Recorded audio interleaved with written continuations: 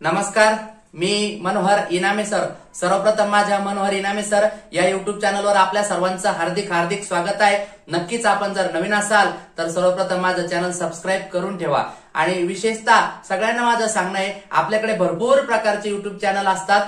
काही चॅनल आपल्या बिनकामाचे पण असतात. काही चॅनल आपण मनोरंजन म्हणून पाहतो परंतु ज्ञान देणारं जर चॅनल तुमच्यासमोर असेल आणि तुमचा काहीतरी फायदा होत असेल तर सबस्क्राईब करून ठेवायला काही हरकत नाही. म्हणून शंभर टक्के आपण पहिले चॅनल सबस्क्राईब करून घ्या. आणि तुम्हाला जे ज्ञान मिळतंय तर ते फक्त तुमच्यापर्यंत न राहता ते दुसऱ्यांना पण मिळाले पाहिजे. ज्ञान दिल्याने ज्ञान वाढते. म्हणून तुम्हाला जे काही ज्ञान मिळतं सेम ज्ञान आपल्या मित्रांना पण मिळालं पाहिजे मैत्रिणींना पण मिळालं पाहिजे आणि इतरांनाही मिळालं पाहिजे. याच हाच उद्देश डोक्यात ठेवून लिंक नक्की शेअर करत चला व्हिडिओ पण नक्की शेअर करत चला आणि त्यांना पण तुम्ही सांगा चॅनल सबस्क्राईब करून ठेवा. सबस्क्राईब केल्याचा फायदा असा की तुम्हाला आयतं व्हिडिओ नोटिफिकेशन तुम्हाला तुमच्या मोबाईलवरती येऊन जातं. आणि सबस्क्राईब करण्यासाठी कुठली फीस वगैरे नसती हे आपल्या सगळ्यांना माहिती आहे. ठीक आहे चला तर विद्यार्थी मित्रांनो आपण आपल्या लेक्चरला सुरुवात करूया. हसत खेळत या उन्हाळ्यात आपण इंग्रजी शिकायला सुरुवात केली आहे. आणि मागचे दोन व्हिडिओ आपण बघितले असेल तर त्या दोन व्हिडिओच्या माध्यमातून आपल्या सगळ्यांना कळलेलं पण असेल की इंग्रजी शिकायची म्हटली तर सगळ्यात महत्वाची गोष्ट आहे आपल्याला शब्दांची ओळख असणं गरजेचं आहे. आणि शब्दांची ओळख असणं गरजेचं आहे. शब्दांची ओळख असेल तर वाक्य वाक्याची ओळख होती. वाक्याची ओळख असेल तर आशयाची पूर्ण ओळख होती. पॅराग्राफची ओळख होती. आणि परिणामी आपल्याला इंग्रजीमधील प्रत्येक गोष्टीची ओळख होती. बरोबर? परंतु होतंय काय? आपले शब्दच पाठ नाही आणि मग आपल्याला शब्दाचे अर्थ माहिती असणं गरजेचं आहे परंतु आपल्याला ते माहिती नसतं. म्हणूनच मी तुमच्या सगळ्यांसाठी दररोज फक्त आणि फक्त दहा ते बारा मिनिटाचा व्हिडिओ शक्यतो तर दहाच मिनिटाचा प्रयत्न आहे माझा दहा मिनिटाचा व्हिडिओ मी तुमच्यासमोर सादर करीत आहे. रोज सकाळी सात वाजता किंवा संध्याकाळी सात वाजता तुम्हाला व्हिडिओ मिळेल. मी या युट्यूब चॅनलच्या माध्यमातून लाईव्ह लेक्चर पण तुमच्यापर्यंत घेऊ शकतो.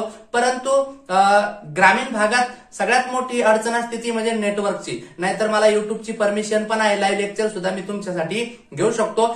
जेव्हा केव्हा रेंज नेटवर्क प्रॉब्लेम पूर्णतः व्यवस्थित होईल तेव्हापासून मी लाईव्ह लेक्चर सुद्धा सुरू करेल. नक्कीच तर आपण आपल्या लेक्चरकडे वळूया.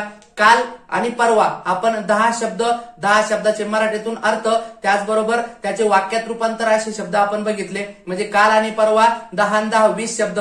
आणि प्रत्येक वाक्यामध्ये कमीत कमी पाच ते सात शब्द असतातच आपण पाचच पकडू. वीस पंचे शंभर. म्हणजे पहा तुम्ही दोन दिवसाच्या वीस मिनिटं देण्याच्या लेक्चरमध्ये कंप्लीट त्या ठिकाणी शंभर शब्दांचा अर्थ तुम्हाला कळाला. आणि शंभर शब्दाचा अर्थ कळाल्यामुळे शंभर टक्के तुम्हाला ते शब्द नोंद झाल्यावर ते शब्द कुठेही जरी आले तरी त्याचा अर्थ तुम्हाला कळेल. आज आपण आजचे दहा शब्दार्थ बघूया आणि त्याचं वाक्य सुद्धा आपण तयार करून बघूया.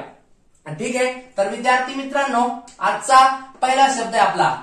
Observe O B S E R V E observe observe म्हणजे काय? निरीक्षण करणे. निरीक्षण करणे. बरोबर ना? निरीक्षण करणे म्हटल्यानंतर आपल्याला आपण बघा कुठल्या तरी गोष्टीचं निरीक्षण करतो बघतो. तसं वाच शब्दाचा अर्थ होतो बघ बघ बघणे. परंतु निरीक्षण करणे म्हणजे आपण त्याला हेतुपूर्वक काहीतरी म्हणजे बघण्याच्या पाठीमागचं निरीक्षण करतो नेमकं काय? बरोबर? त्याला म्हणतात इंग्लिशमध्ये ऑब्झर्व ठीक आहे? याच्यावरून एक वाक्य पहा. Sheetal observe the project given by teacher याचा अर्थ काय होतो? का शीतल शीतल म्हणजे कोण? शीतल म्हणजे एक मुलगी आहे. शीतल या नावाचा थोडीच मराठीतून अर्थ वेगळा होणार आहे. नावाचा अर्थ तोच असतो हे सगळ्यांना माहिती ठीक आहे? शीतल ऑब्झर्व ऑब्झर्व म्हणजे काय? निरीक्षण करणे. The project given by teacher मग प्रोजेक्ट म्हणजे काय? प्रकल्प. प्रोजेक्ट म्हणजे काय? प्रकल्प. गिवन गिवन म्हणजे दिलेला. बाय बाय म्हणजे कडून बाय म्हणजे कडून टीचर. ठीक आहे? तर टीचर म्हणजे शिक्षक. म्हणजे शीतल शिक्षकाकडून दिल्या गेलेल्या प्रकल्पाचे काय करीत होती? शीतल निरीक्षण करत होती. म्हणजे असं ऑब्झर्व या शब्दाची माहिती मिळाल्यामुळे. आपल्याला या पूर्ण वाक्याचा अर्थ कळाला. म्हणजे बघा तुम्ही शब्दार्थ पाठ असणं किती गरजेचं आहे? किंवा शब्दाचा अर्थ माहिती असणं किती गरजेचं आहे? आणि आपण हसत खेळत सलग शंभर लेक्चरमध्ये तब्बल पाच हजार शब्दार्थ घेणारे पाच हजारपेक्षा पण जास्त. लक्षात ठेवा. ठीक आहे? म्हणून रोज व्हिडिओ बघत चला. त्यानंतर दुसरा शब्द आहे आपला obedient O B E D I E N T obedient म्हणजे काय? आज्ञाधारक. हा शब्द आपल्यासाठी अपरिचित आहे असं आपण म्हणू शकत नाही. कारण हा शब्द आपल्यासाठी परिचित आहे. लेटर रायटिंग करीत असताना पण पहा युअर ओबिडियंट आहे की नाही? तुमचा आज्ञाधारक असं आपण म्हणतो. आज्ञाधारक ओबिडियंट म्हणजे काय? आज्ञाधारक. वाक्य त्याच्यावर your your student not obedient हा. एव्हरी म्हणजे काय? प्रत्येक जण किंवा प्रत्येक एक जण काय स्टुडंट म्हणजे विद्यार्थी नॉट ओबिनियन म्हणजे प्रत्येक एक जण विद्यार्थी काय आहे? आज्ञाधारक नसतो. म्हणजे मोजकेच विद्यार्थी काय असतात? आज्ञाधारक असतात. ठीक आहे? त्यानंतर पुढचा शब्द आहे आपला O P N open open म्हणजे काय रे? ओपन म्हणजे उघडणे. ओपन म्हणजे काय? उघडणे. Rohit please open the door Rohit please open the door याचा अर्थ काय होतो? हो ओपन हा शब्द आपल्याला माहिती कळाल्यामुळे सरळ सरळ आहे काहीतरी उघडायचं आहे एवढं नक्की कळालं आपल्याला. म्हणजे पहा तुम्ही हो ओपन या शब्दाचा अर्थ कळाल्यामुळे आपल्याला शंभर टक्के वाक्याचा अर्थ कळण्यास मदत होती. Rohit please open the door please म्हणजे काय रे? प्लीज म्हणजे प्लीजला मराठीतून म्हणतात कृपया. बरोबर? डोअर म्हणजे दरवाजा. आणि रोहित एक काय आहे? नाव आहे. परंतु पहा तुम्ही वाक्य. प्लीज ओपन द डोअर म्हणल्यानंतर कोणाला तरी कोणीतरी बोललेलं आहे सांगितलेलं आहे. आणि विनवणी केलेली असंही म्हणा किंवा सूचना पण केली असंही म्हणू शकता तुम्ही. ठीक आहे? Rohit please open the door म्हणजे रोहित कृपया दरवाजा उघड. रोहित दरवाजा उघड. बरोबर? ओपन या शब्दाचा अर्थ होतो उघडणे. त्यानंतर पुढचा शब्द आहे आपला opposition O double P O S I T I O N opposition म्हणजे विरुद्ध. ऑपोजिशन म्हणजे विरुद्ध. Suresh stand opposition against Ram. Against म्हणजे च्या विरुद्ध असा त्याचा अर्थ होतो. ऑपोजिशन म्हणजे सुद्धा विरुद्ध. मग या वाक्याचा अर्थ काय होतो? Suresh stand opposition against Ram. म्हणजे सुरेश रामच्या विरुद्ध.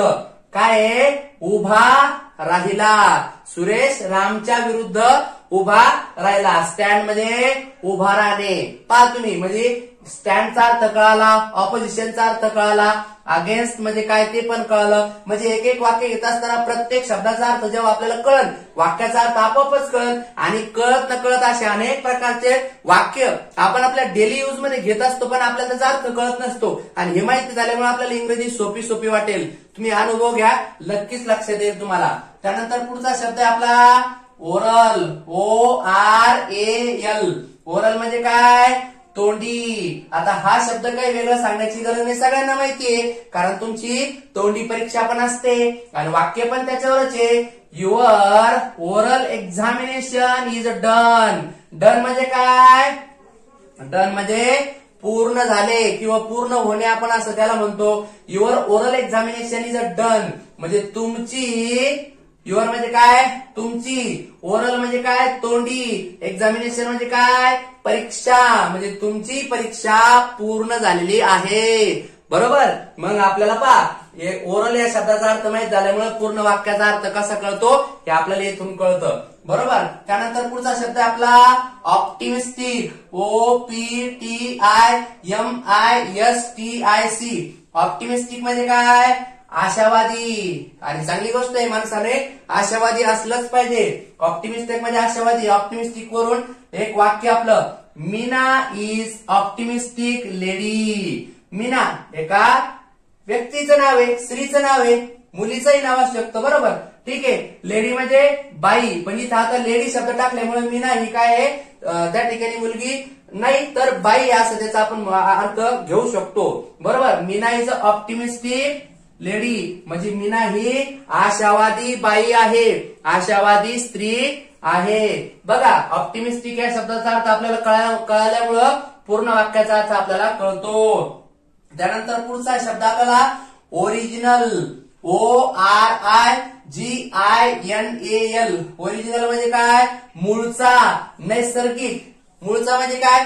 जो आहे तो जसा आहे तसो. आपण म्हणतो ना की मला काय मी जे जसा आहे तसा आहे ओरिजिनल आहे की नाही? म्हणजे कॉपी करण्याचं काम नाही आहे की नाही? जसं आहे तसं आहे.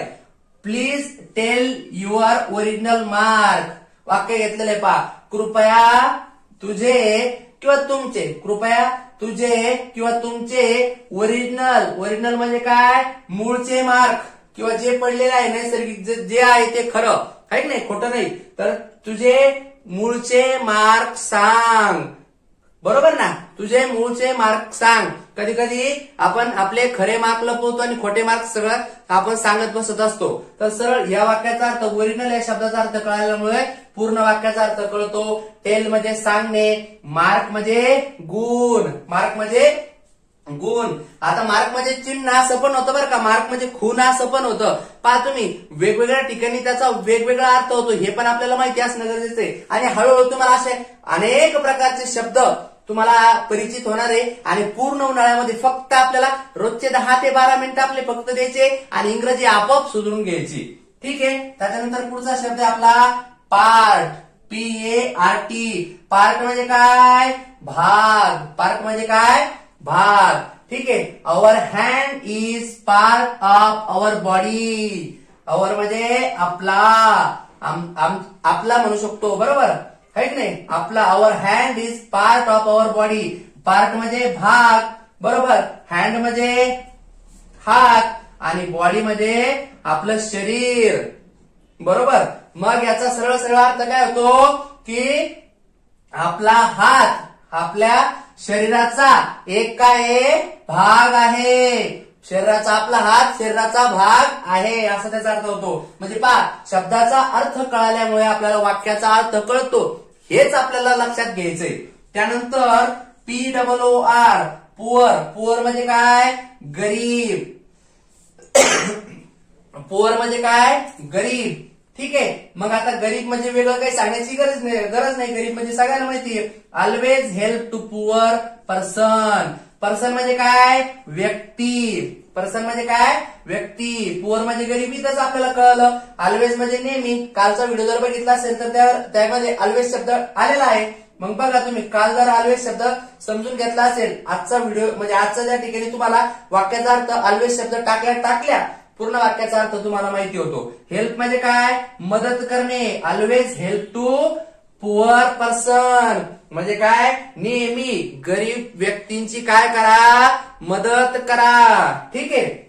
आणि आजचा शेवटचा शब्द आहे आपला pleasure P L E A S U R pleasure म्हणजे काय?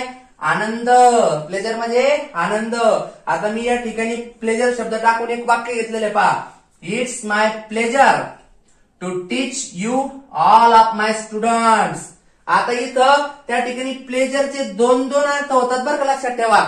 इट्स माय प्लेजर आपण म्हणतो यात मला आनंद आहे किंवा हेच माझं कर्तव्य आहे असं पण आपण म्हणू शकतो. ठीक आहे? तर या वाक्याचा पूर्ण वाक्याचा अर्थ काय होतो? इट्स माय प्लेजर यात मला आनंद आहे किंवा हे माझं कर्तव्य आहे किंवा हे म्हणजे काय कर्तव्य आहे काय आनंद आहे? टू टीच यू तुमच्या सगळ्यांना शिकवणे तुमच्या सगळ्यांना सांगणे तुमच्या सगळ्यांना शिकवणे आणि तुमचे सगळे म्हणजे तुमचे सगळे म्हणजे तुम्ही कोण? ऑल ऑफ माय स्टुडंट जे माझे विद्यार्थी असतील त्यांना संबोधून हे वाक्य पहा. का? तुमच्या सगळ्यांना माझ्या सगळे विद्यार्थी तुमच्या सगळ्यांना शिकवणे. हे माझं याच्यात मला काय आहे? आनंद आहे. आणि याच्यात हेच माझं काय आहे? कर्तव्य आहे. बघा विद्यार्थी मित्रांनो जर व्हिडिओ शेवटपर्यंत बघत असाल तर लक्षात ठेवा असे अनेक प्रकारचे शब्द असतात. त्या शब्दांचा अर्थ आपल्याला कळाला की वाक्याचा अर्थ कळतो. वाक्याचा अर्थ कळाला की पूर्ण पॅरेग्राफचा अर्थ कळतो. आणि पॅरेग्राफचा अर्थ कळाला की पूर्ण आशय आपल्याला समजतो. आणि आपल्याला इंग्रजीची मिनिंग इंग्रजीचा अर्थ कळतो. आणि असे अनेक प्रकारचे वाक्यांचे मिळूनच अनेक प्रकारचे आशय. जस दुसरं काय? इंग्रजीतले जेवढे वाक्य शब्द म्हणजे तीच भाषा आहे दुसरं तरी काय? वेगळं काहीच नाही. आता याच्यात एक गोष्ट लक्षात ठेवा. ग्रॅमॅटिकली लँग्वेज आणि स्पोकन लँग्वेज फरक असतो बरं का?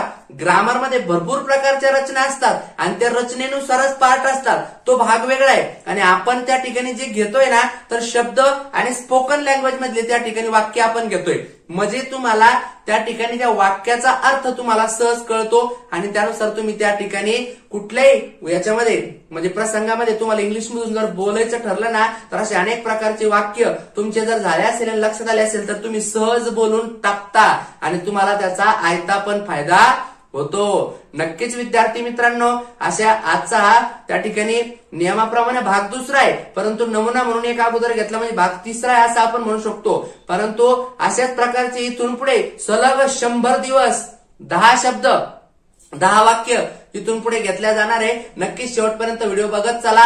आणि तुम्ही जर नवीन असाल तर नक्कीच सगळ्या चांगल्या गोष्टी ज्ञानाच्या गोष्टी फायदाच होतोय. चॅनल सबस्क्राईब करा. तुमच्याशिवाय इतर जे कोणी तुमचे मित्र मैत्रीण नातेवाईक असेल त्यांच्यापर्यंत फॉरवर्ड करत चला. चांगल्या गोष्टी ज्ञानाच्या गोष्टी मिळत असेल ज्ञान दिल्याने ज्ञान वाढते हीच भावना ठेवून नक्कीच व्हिडिओ शेअर करा. आजच्यासाठी इतकंच. आपली भेट उद्याच्या व्हिडिओमध्ये आणि उद्याच्या पुढचे शब्द घेऊन आणि पुढचे वाक्य घेऊन. धन्यवाद.